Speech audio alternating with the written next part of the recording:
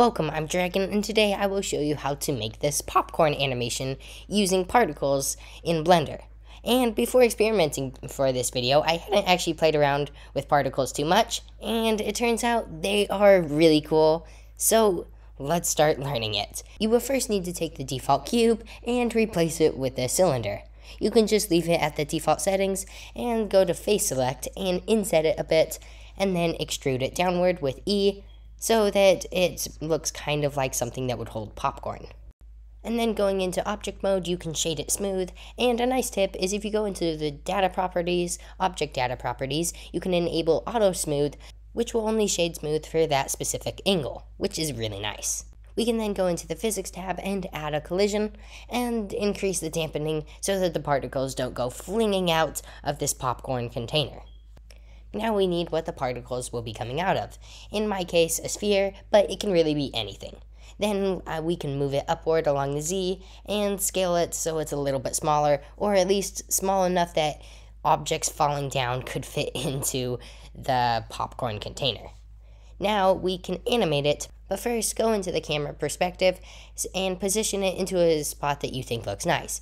Then we could select the emitter object again and move it along the x-axis in my case and just animate it by hitting I.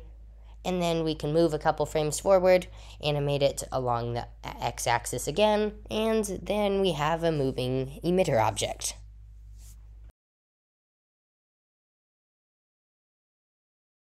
Now we need to model the popcorn which is pretty simple. All we need to do is add a cube and then add a subdivision surface, and I increase the levels to 4, but you can do a little less if you feel like it.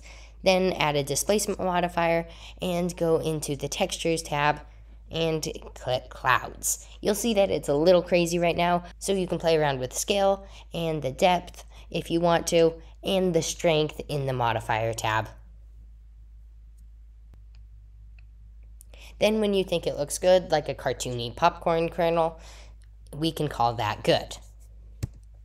Now let's work with particles. So select the emitter object and go into the particle properties and hit the plus icon, which will add particles. You'll see that it, a lot of random things go around it at the moment, but that will be changed pretty quickly. And if you play the animation, it will just keep emitting objects and they have a very short lifetime. So the first thing that we should change is the frame start to actually start at the right frame. We can then change the end to when the emitter starts moving on. And we'll want to increase the lifetime so that it doesn't just dissolve pretty quickly. We want it to last the entire length of the animation. So we can just enter like something like 250.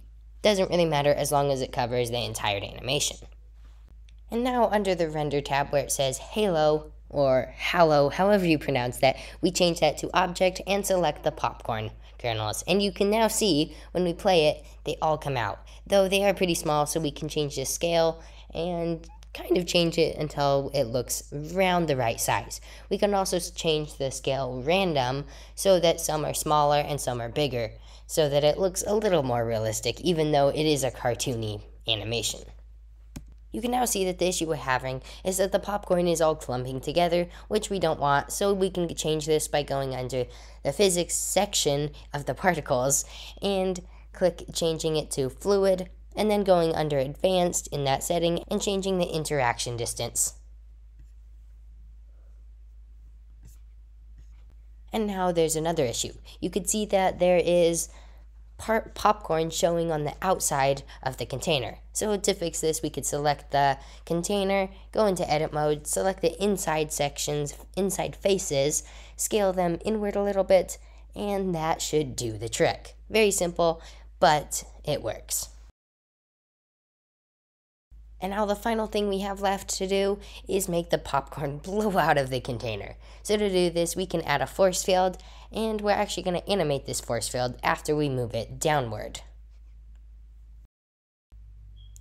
So to animate it, we're going to go into the force field's physics properties and change the strength and animate the strength after we decide on a good frame for the popcorn to actually be blown out of the container. So first, find a good frame and animate it with a strength of zero. Then move one frame over and animate the strength of like around 15 to 20, which is what I found look, looks good.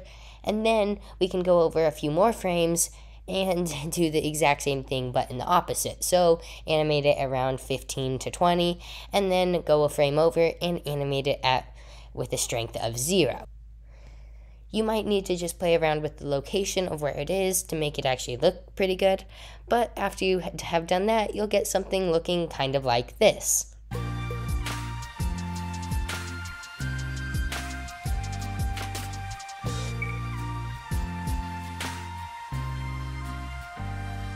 So there you have it. I hope you enjoyed this tutorial and now have yourself some exploding popcorn that you made in Blender. The materials were all pretty simple. You just go around coloring them with basic textures. I did end up rendering my animation that you saw from the beginning with cycles, which may have explained why it looked a little better. But other than that, I really hope you enjoyed it. And one last random thing. Um, why am I selling so many things right now? I don't know. Oh boy, oh. Random, yeah, I know. Bye.